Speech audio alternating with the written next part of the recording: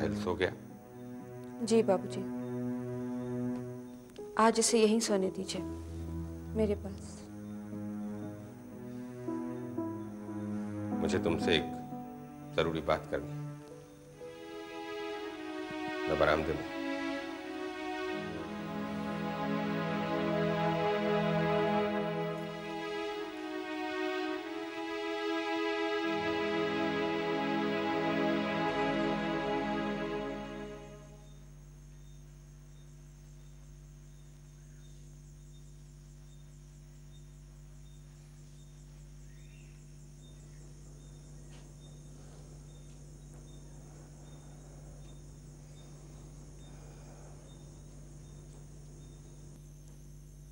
तुम्हारी माँ कह रही थी उमा कि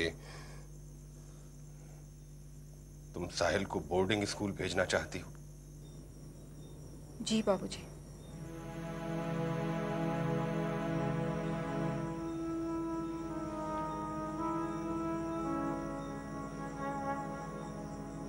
उसके बिना रह लोगी तुम? बच्चे के भविष्य के लिए बहुत कुछ सहना पड़ता है बाबूजी। ठीक कह रही हो बेटी। लेकिन क्या तुम्हें अपने बच्चे का भविष्य इस घर में नहीं दिखता है? दिखता है। लेकिन वैसा नहीं जैसा मैं चाहती हूँ।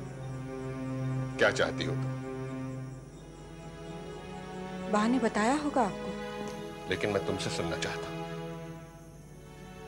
क्या एक बाप को यह हक नहीं है कि वो अपनी बेटी से पूछे वो क्या चाहती है?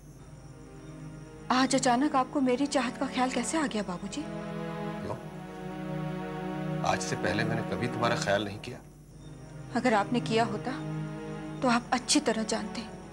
मेरी पसंद क्या है और मेरी नापसंद क्या है? अगर ऐसा नहीं होता तो मैं तुम्हारी शादी उस केशव के साथ कभी नहीं करवाता। उसमें आपका अपना स्वार्थ छिपा हुआ था। मेरा स्वार्थ? जी हाँ। वरना ब्याह की मंजूरी में आप घर जमाई बनने की शर्त कभी न रखते। आपको अपने खानदान का नाम रोशन करने के लिए एक वारिस चाहिए था। और अब आप वही स्वार्थ साहिल के ज़रिए पूरा करना चाहते हैं।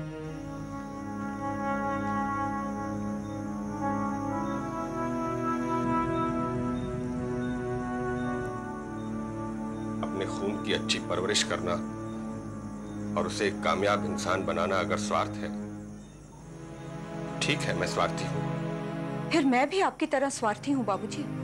क्योंकि मैं भी चाहती हूँ कि मैं अपने बच्चे की अच्छी परवरिश करके उसे एक कामयाब इंसान बनते देखूँ। तो फिर झगड़ा किस बात का है बेटी? हम दोनों का लक्ष्य एक ही है साहिल की भलाई। साहिल की भलाई या बुराई के बारे में सोचने का हक पहले मुझे होना चाहिए बाबूजी।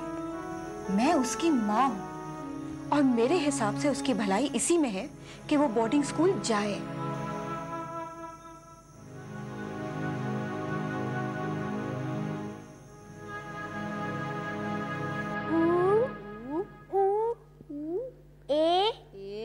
आई आई औ औ। अम।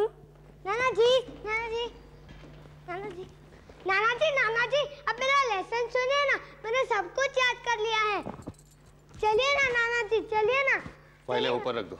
चलिए ना नाना जी नहीं अभी तो मैं सुनाना है। अभी मैं थका हुआ हूँ। नहीं आप चलिए ना, आप चलिए। छोड़ो मेरा हाथ।